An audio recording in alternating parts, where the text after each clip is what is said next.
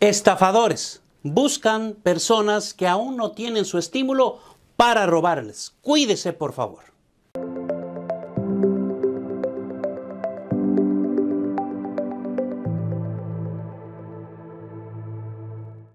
Esta es una advertencia para todas las personas que aún no reciben su tan ansiado tercer cheque. Personas sin escrúpulo, rateros, quieren robarles su dinero.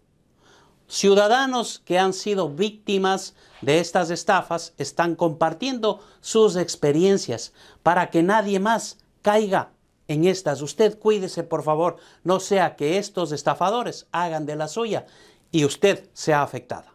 Estas personas han expresado que han recibido un correo electrónico enviado a su correo de trabajo solicitando que descargue y confirme la información física y bancaria para recibir el cheque de estímulo. Según varias fuentes, las personas están recibiendo correos electrónicos de estafadores para obtener su información bancaria y usted va a ser víctima de estos inescrupulosos. El presidente de Better Business Bureau, BBB, Tom Bartholomew, expresó que los estafadores están volviendo más astutos cada día en el momento en que envían estos mensajes. Existen un montón de estafas, se llama phishing.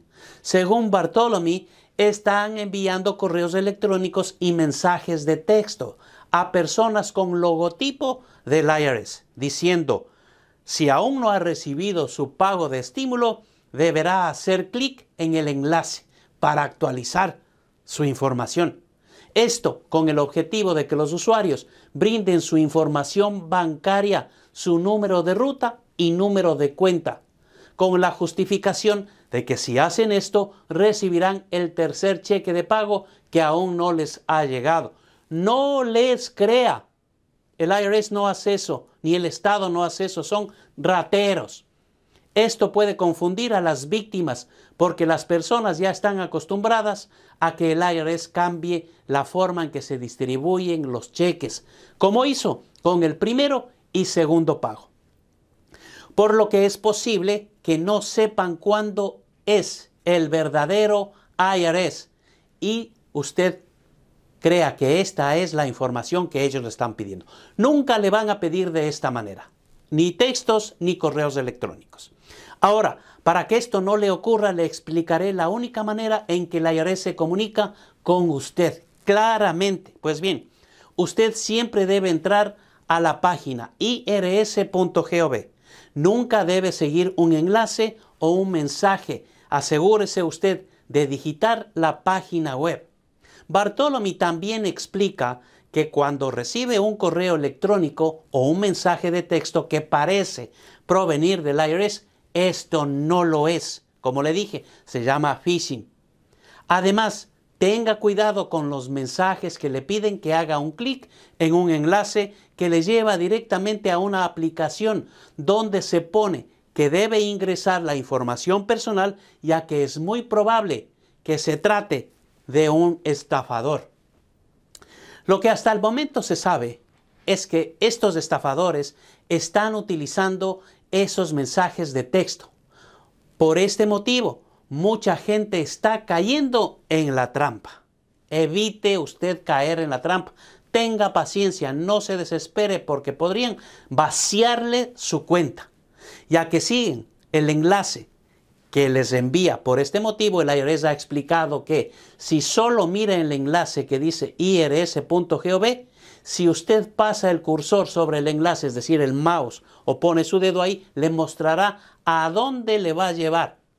Y podrá ver que es un solo código. Tenga en cuenta que los estafadores no buscan su pago de estímulo, sino todos sus ahorros.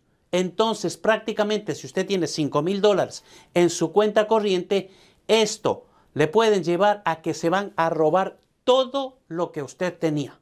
Así que tenga mucho cuidado. Recuerde, el IRS solo depositará directamente su cheque en su cuenta. O si se le envía por correo, nadie lo podrá cambiar si no presenta la identificación de quien está en los bancos. y no recibirá a menos que presente una declaración de impuestos. Ahora, si usted cree que lo han estafado, infórmese para que vea cómo usted puede seguir y encontrar eso de parte al IRS.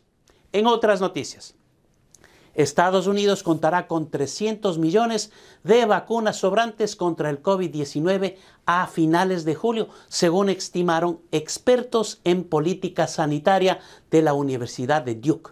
Por este hecho, pidieron al país que compartiera las dosis de forma más generalizada para hacer frente a la gran desigualdad existente en la distribución mundial de vacunas. Estados Unidos ha proporcionado envíos limitados de la vacuna AstraZeneca que aún no está autorizada para el uso de Estados Unidos a México y Canadá. Pero el secretario de Estado del país, Anthony Blinken, ha dicho que no compartirá las inyecciones de la forma más generalizada hasta que el país esté más seguro de sus propios suministros.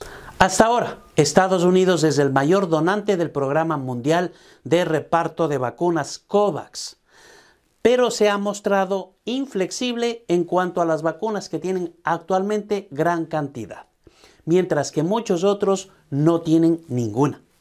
Por este motivo, se quiere establecer un plan de tres partes en que Estados Unidos debería aumentar la financiación de COVAX, hacer el exceso de dosis esté disponible a través del mismo plan y crear programas bilaterales siguiendo el modelo del plan de emergencia del presidente para el alivio del SIDA, proporcionar vacunas y apoyo a los países que lo necesitan. También podría proporcionar el apoyo y los materiales para que los países produzcan vacunas seguras y eficaces por ellos mismos. Mientras tanto, el país sigue administrando vacunas a millones de personas. Hasta ahora, en día se han logrado administrar 4 millones de vacunas contra el COVID-19. Los estados también cuentan actualmente con más de 55 millones de dosis, lo que supone un buen augurio para la meta de inmunización del presidente Biden en los primeros 100 días de gobierno. Hasta ahora, en un día se lograron administrar 4 millones de vacunas contra el COVID-19. Los estados también cuentan actualmente con más de 55 millones de dosis, lo que se supone un buen augurio para la meta de inmunización del presidente Joe Biden en sus primeros 100 días de gobierno. Muchas gracias. No olvides suscribirse a este canal, darle un me gusta a este video y compartir. Que tenga un feliz domingo.